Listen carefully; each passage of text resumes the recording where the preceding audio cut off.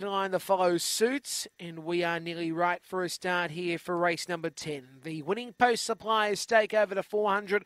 Light and lure, we are set to roll. Race 10, our favourite on the outside. Ready, racing. Started well here, Zimbora J. Speed from the outside in Nitrogen Outlaw, and uh, up to third spot now in the second Compton Blazer. Then came Mr. Balago from Midnight Bandit and Born Brett, who moves up now to fourth spot down the side. Compton Blazer, the leader from Zimbora J. Nitrogen Outlaw and wide of the course is Born Brett, but it is Compton Blazer too good. Compton Blazer wins. Second Zimbora J for Nitrogen Outlaw, and then came a run from Born Brett Midnight Bandit Mr. Balago, 22 and 9 the time, and the winner too good too, Black and White Compton Blazer.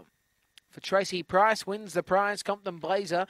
It is a Black Dog, Mepunga Blazer out of Miss Free Love. Second spot going to for Blues and Bora J.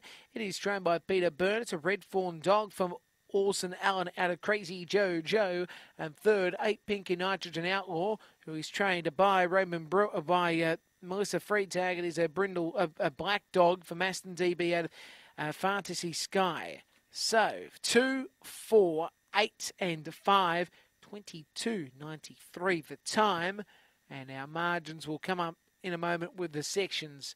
It'll be four lengths by